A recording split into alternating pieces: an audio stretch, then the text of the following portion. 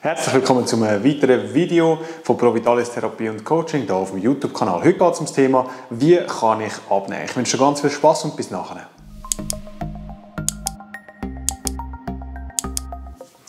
Das Thema Abnehmen beschäftigt ganz viele Leute und man macht meistens eine hochkomplizierte Angelegenheit aus diesen Sachen. Ich möchte es auf drei Faktoren abbrechen. Der erste Faktor ist der psychologische Aspekt. Das ist oft der Faktor, der eigentlich dazu führt, dass man scheitert. Viele von uns können Faktor 2 und Faktor 3 easy umstellen für ein gewisses Zeitchen und nachher versanden es aufgrund vom ersten Faktor. Weil der zweite Faktor ist das Thema Ernährung, der dritte Faktor ist das Thema Bewegung. Ich weiß, ich erzähle auch gar nichts Neues und das ist auch gar nicht der Sinn und Zweck, weil eben, es ist ja eh jede Information gratis und frei im Internet zur Verfügung.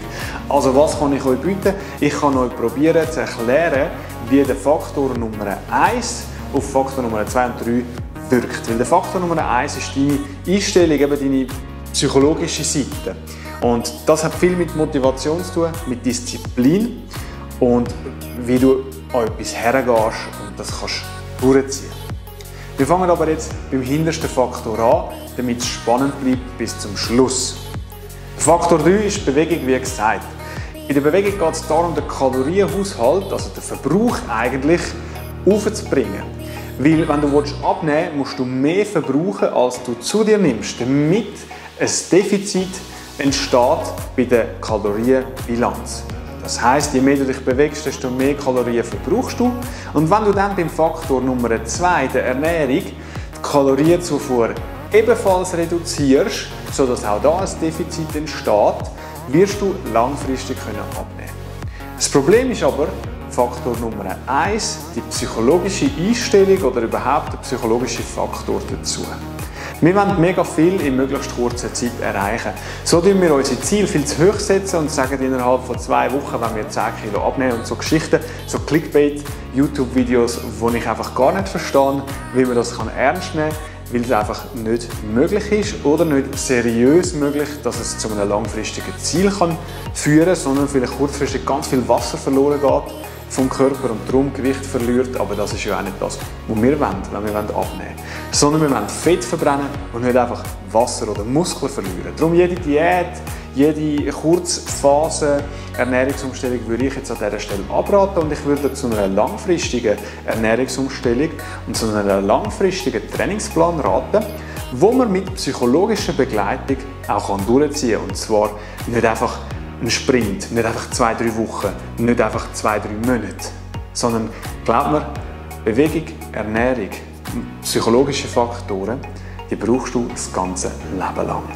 Weil motivieren müssen wir uns immer wieder. Gesund essen sollten wir auch und bewegen auch, weil je älter wir werden, desto schwieriger wird es, gesund zu bleiben. Und wenn du jetzt den Grundstein leist für ein gesundes Leben, mit der Ernährung, mit der Bewegung und mit deiner persönlichen Einstellung, dann kannst du bis ins höhere Alter relativ gesund und fit bleiben. Ich möchte schnell auf die drei Faktoren einzeln nochmal eingehen, um es ein bisschen genauer erläutern. Und vor allem jetzt mal auf die psychologische Seite. Es ist wichtig, wenn wir motiviert sind, dass wir dann Vollgas geben. Aber wir dürfen nicht alles aufs Mal verpuffen, sodass nachher die Energie wieder draußen ist und wir nach zwei Wochen wieder aufhören, weil wir es nicht mögen durchziehen. Es ist gut, wenn du am Anfang hoch motiviert bist. Du hast dir deine Ziele gesteckt, vielleicht gerade Ende Jahr, respektive zum Jahresneuanfang hast du dir irgendwelche Sachen vorgenommen, die du willst machen Jetzt gibt es äh, zwei Möglichkeiten, wie wir mit dem langfristig ein Ziel erreichen können. Einerseits tust du deine Ziele verfolgen, tust sie aufschreiben, tust schauen, warum willst du das überhaupt erreichen. Das ist ganz wichtig, sowohl negative Aspekte, weil du etwas nicht mehr willst, und positive Aspekte, weil du etwas anderes möchtest. Hey, wenn ich dünner bin, dann sehe ich besser aus und die Leute bewundern mich vielleicht auch. Man sieht mein Sixpack wieder, ich selber bin glücklicher. Andererseits das Negative, hey, ich muss auf zwei Wagen stehen, es schießt mich langsam an, ich passe nicht mehr durch die Tür durch, ich schwitze nur schon beim Stegenlaufen und so weiter. Das mal aufzuschreiben und sich vor Augen führen ist sicher eine gute Sache. Auch ein Foto machen ist nicht schlecht. Plus ein Foto von dem, wo du findest, hm, das könnte mein Vorbild sein im Bereich Abnehmen. Dann der zweite Teil ist, möglichst viel verbannen von dem, was dir nicht gut tut. Auch gar nicht erst kaufen, bei der Ernährung oder bei der Bewegung. Sachen gar nicht erst aufkommen lassen, dass es zu, einem, äh, Versuch, zu einer Versuchung kommt. Sondern probier alles so zu arrangieren, dass der Schweinehund in dir möglichst schwierig hat. Dass es gar keine Ausreden gibt, du immer kannst, sagen wir jetzt beim Sport, joggen, du immer musst gesund essen, weil gar nichts anderes um ist, etc. Weil die Energie, die du müsstest aufwenden um jedes Mal widerstehen und der Versuchung widerstehen, Nein sagen und quasi diszipliniert bleiben, die Energie fehlt dir nachher, vor allem wenn du das brauchst für die Ernährung, fehlt dir nachher, um mit der Bewegung ins Handeln zu kommen. Und das ist schade. Darum probier die Entscheidungen zu minimieren. Es gibt gar nicht die Entscheidungen.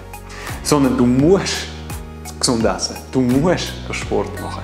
Du hast die Wahl gar nicht. Und das macht vieles einfacher. Und da hat mir die 4-Sekunden-Regel sehr gut geholfen. Innerhalb von 4 Sekunden bist du parat und bist angelegt und gehst Sport machen. Oder gehst dich bewegen, was auch immer dein Ziel ist. Aber wenn wir jetzt das Ziel haben, abnehmen, ist es halt Sport machen.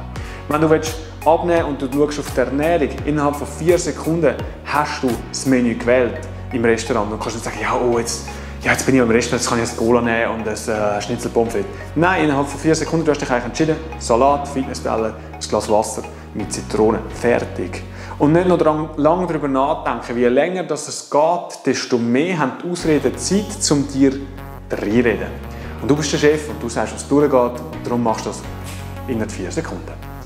Okay, das war der erste Faktor und meiner Meinung nach der wichtigste Faktor, weil wenn wir den haben, den unter Kontrolle haben und verstanden haben, können wir alles erreichen.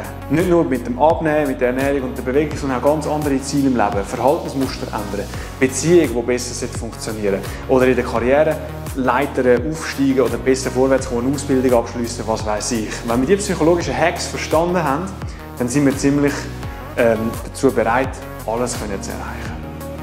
Der Faktor Nummer zwei ist die Ernährung. Bei der Ernährung habe ich persönlich die Erfahrung gemacht und auch vielen, mit vielen Kunden, ist es das Kohlenhydrat möglichst abschrauben und Protein möglichst aufschrauben, sodass die Muskeln anfangen zu wachsen, weil im Nummer 3, Faktor Nummer 3 ist Bewegung und Muskeln helfen uns, uns besser zu bewegen, helfen auch mehr zu verbrennen, weil Muskeln verbrennen auch, wenn du schlafst, Kalorien und wenn du dich einfach normal bewegst, Kalorien und nicht wie Fett, das einfach still vor sich her liegt und gar nichts verbraucht.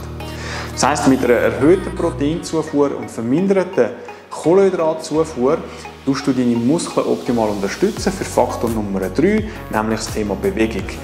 30 Minuten bis eine Stunde müssten wir Sport machen pro Tag. Das kann von Gehen zu Laufen, zu Joggen sein, aber auch Velofahren, irgendwelche Ballsportarten oder Turnen, Krafttraining spielt überhaupt keine Rolle. Wichtig ist, 30 Minuten bis eine Stunde pro Tag sollten wir uns bewegen, um einen Ausgleich zu schaffen zu unserem oftmals nicht ganz so bewegungsreichen Alltag.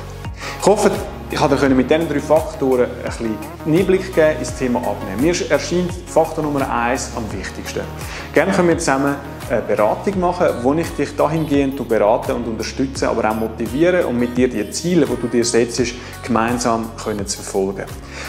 Schreib mich doch einfach an auf YouTube, auf Facebook, Instagram oder WhatsApp. Ich würde mich freuen. Schreib doch in die Kommentare, wenn du schon bereits deine Ziele erreicht hast, wie du geschafft hast. Ich bin immer offen für Vorschläge, Feedback aller Art. Ich wünsche dir ganz einen guten Tag und bis zum nächsten Mal.